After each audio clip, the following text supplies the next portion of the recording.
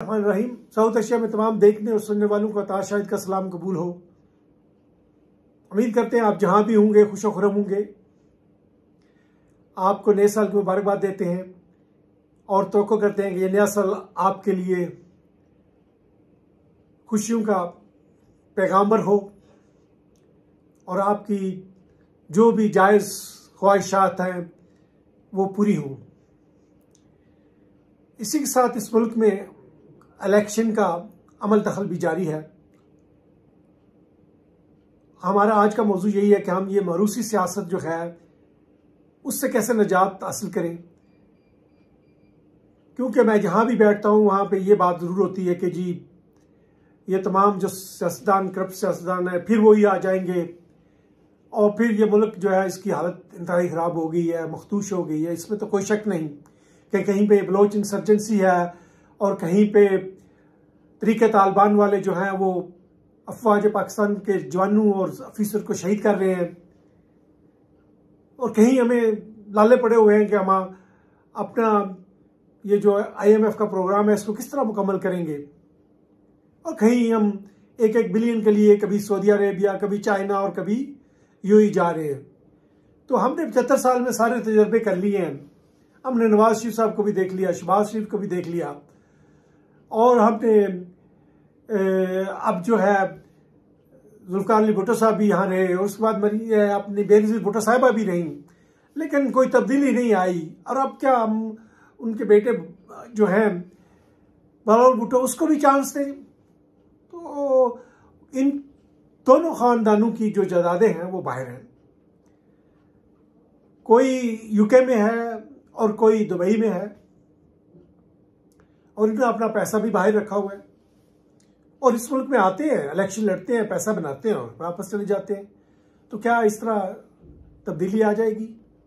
इसका एक हल तो यह है कि आप मुल्क में इनकलाब ले आए और कोई ऐसा शख्स ले आए जो वाकई इस मुल्क को आगे ले जाने की कोशिश करे। अगर वो नहीं कर सकते तो ये अपनी पार्टीज़ में इन्होंने जमहूरियत नाम की तो कोई चीज़ रहने नहीं दी। नवाज़ शरीफ साहब होंगे तो उसके बाद शहबाज शरीफ साहब होंगे, शहबाज शरीफ साहब होंगे तो उसके बाद मरियम नवाज़ शरीफ होंगी। तो आपके पास एक इलेक्शन है। तो इस इलेक्शन में आप कम अज कम ये जो लीडर्स हैं इन पार्टीज़ के, क्योंकि भाई अगर नवाज़ शरीफ है तो भाई इधर ख्वाजा आसफ भी तो है एहसन इकबाल भी तो है। भाई उनको भी ग्रूम करें, उनको भी तो चांस दें। खान साहब तो खैर माशाल्लाह अब उम्र के उस हिस्से में है कि उनको चांस मिलना चाहिए था। कुछ तब्दीली तो आती ना। एक हाया साहब का तो सब कुछ सियालकोट में है। इसी तरह एहसन इकबाल जो है, पढ़े लिखे भी हैं। तो चले उनको भी हम देख लेते। तो हम कम से कम एक पार्टी के अंदर जमहूरियत होती। इसी तरह पीपल्स पार्टी में एजाज हसन थे। और दूसरे लोग जो पार्टी छोड़ के चले गए हैं, जो लाइक फाइक किस्म के लोग थे, उनको तो चांस नहीं मिला। तो हम चाहते हैं कि जी कोई तब्दीली आए। लेकिन भाई, तब्दीली उस वक्त आएगी जब आप कुछ करें।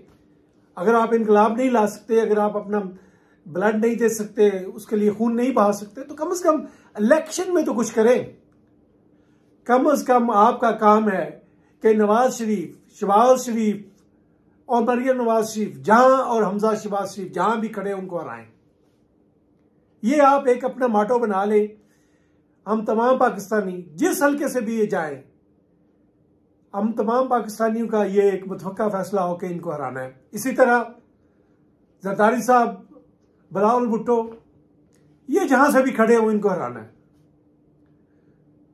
तो ये जो पार्टी में मरूसियत और बादशाह ये ले आए हैं, क्या अमेरिका और बरतानिया की डेमोक्रेसी में यही है? वहाँ तो ये नहीं है। वहाँ तो सदर आते हैं और चले जाते हैं। और ये करप्शन के जो चार्जेस भी साबित भी हो जाते हैं। और देखने से भी आप देख लेते हैं, ये मिलीनियर्स में है। मुझे हमारे एक जनाब अपने बैसर साहब बता रहे थे कि जी आपको पता है कि इन्हें जो नवाज़ शरीफ साहब ने कफलिक पहनी है, वो कितने मिलियंस डॉलर्स की हैं। मैंने कहा, जी मैं तो यही कह सकता हूँ कि फाइव लाख डॉलर्स की होंगी उन्होंने कहा, नहीं भाई, ये फाइव बिलियन डॉलर्स की हैं। कफलिंग्स। भाई मियाँ साहब के पास कोई जो अपना मशीन लगी हुई है, वो मशीन यही है कि पाकिस्तान से वो जो कमीशन लेते हैं, जो हर चीज़ में उन्होंने कमीशन लिए हुए हैं, इनकी फैमिली सारी देख ले, इनके महल्लात देख ले। ठीक है जी, इसी तरह जरदारी साहब को देख ले।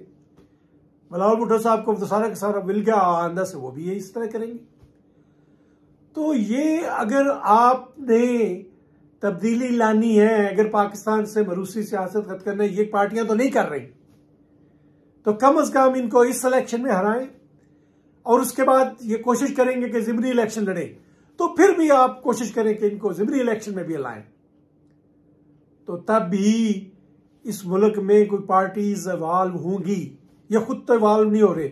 और जो दूसरे अदारे जो हैं, वो भी इनको इवाल्व होने नहीं दे रहे। कि उनका भी, इनके साथ जो है, वो अपना सिस्टम चल जाता है। अब हम अंदर की बातें सारी इस वक्त आपको नहीं बताते। तो वो वोटर ये जो लाहौर में है, या ये मानसरा सिलेक्शन लड़ रहे हैं, इनको आपका काम है, या ये जाके अगर कराची से इलेक्शन लड़ते हैं तो इनको हराएँ। तो ये तब तब दबेगे। और अगर फिर ये इनकी पार्टी खुदा ना हासा कर कोई जीत जाती है, ये हार जाते हैं तो ये कोशिश करेंगे जिमनी इलेक्शन में आने में। तो फिर इनको हराए। और अगर ये फिर भी हारते हैं तो उसके बाद जो इनके जो हैंडलर हैं, ये जो इनको जनाब लेके सिस्टम में वापस लाते हैं, जो एक गेम प्ले कर दिए जिन्होंने मुल्क का ये हाल बना दिया है कि एक एक बिलियन के लिए हम जा रहे हैं। तो भाई हम पाकिस्तान को क्या प्रेजेंट करें दूसरों का कि जी हमने पाकिस्तान को इतना डेवलप कर लिया है तो बाकी जो लोग हैं वो जम्मू कश्मीर वाले भी आप पाकिस्तान के साथ आके मिल जाए। भाई, ये हमने तो कुछ किया नहीं। तो अब आपके पास ये चांस है, ये इलेक्शन चांस है। क्योंकि बाकी तो कोई तब्दीली बड़ी हम ला नहीं सकते। और सही, अब हमारे पास यही चांस है कि इन लोगों को हराएँ। ये लोग शर्मिंदा हूँ और इनको फिर दोबारा हराएँ। और जब तक ये हारेंगे नहीं, ये इस मुल्क से भागेंगे ही नहीं, क्योंकि हमें इनकी इनकी कोई ज़रूरत नहीं। हमने इन सबको देख लिया हुआ है। ये थारो करप्ट हैं। इन उनकी सिर्फ़ अपने महल्लात बने हैं, इनकी अपनी फैमिलीज़ की जदादें बनी हैं। आवाम पिसे के पिसे जा रहे हैं। मुल्क पिसा का पिसा जा रहा है। और अब तो मुल्क चलाना भी मुश्किल हो गया लिहाजा आए, अपना हिस्सा इसमें डालें। और अगर हम अपना हिस्सा नहीं डालते तो फिर आप कल इलेक्शन के बाद ये बात मत करें कि इस मुल्क में तब्दीली नहीं आती, ये मुल्क चेंज नहीं होता। क्योंकि ये चेंज होंगे तो इनके साथ ब्यूरोक्रेसी के वो मोरे, जो इनके साथ आके करप्शन का एक जो है ना एक बाज़ार बर्पा कर देते हैं, वो भी इनके साथ फिर साइड लाइन हो जाएँगे।